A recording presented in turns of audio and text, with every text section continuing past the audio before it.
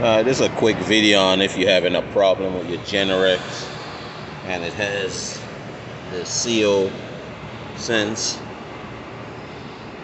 Uh, some of them will start, run for about 30 seconds, and then shut off. And some of them will do like this one, and you start it and you can't shut it off with the switch. It just keeps on running if that's the problem, this, if you really need it in an emergency, you need to remove the CO sense. That's what's tripping it out. Um, I have one that I took out. This is it here. It should have a um, like a box right here, but it just broke away and fell off. So some of them is that, some is another way. But I'll go ahead and show you how to get it off. First thing you do is remove this sticker from here.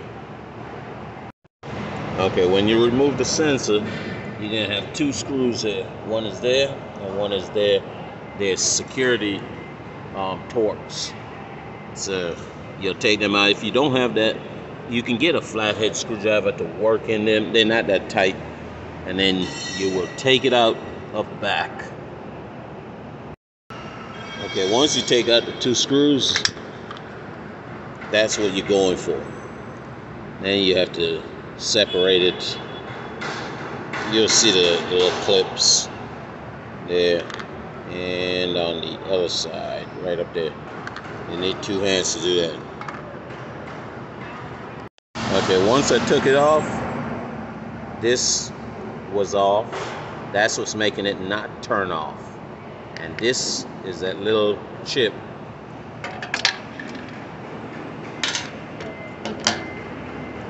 It should be, that's where the, and that's those three pins right there. It should be in like that. For it to work.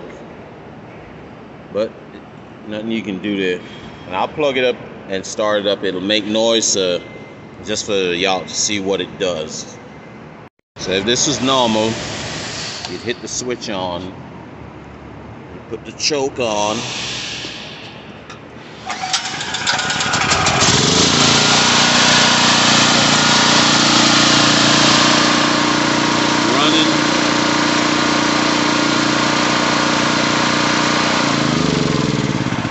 does that. Just shut off.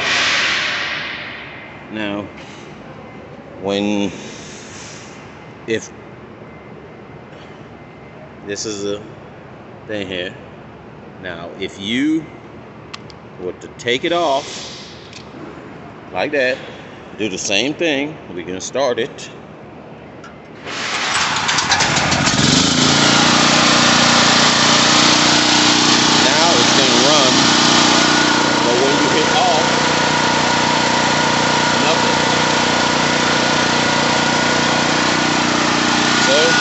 Go on back.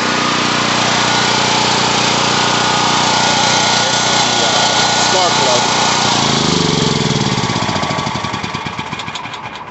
Disconnected the spark plug. So let's go fix this problem. Let me explain. There's two ways you can fix it. If you're going to be using this indoors indoors, order a new one of the CO Sense. If not, you got two two black wires. Cut them, join them together, and tape it up. And that's it. Then it runs like a regular generator. All right just put the two black wires together. Right here and don't worry about that pink or red or green and yellow whatever it is. And all you do now is tape this up because this thing here will zap you just like the spark plug will. So I'll tape it up now, put it away, and that's done. All right, when you're done, it's like that. Put it right here in the section where all these other wires will go, and just roll that strap back up on them, and you'll be done. All right, the sticker is still very sticky. So I always put it back and then I write a bypass right in front of the the um, bypass right here. And that way everybody know this is bypass. So don't put it in your garage to run it.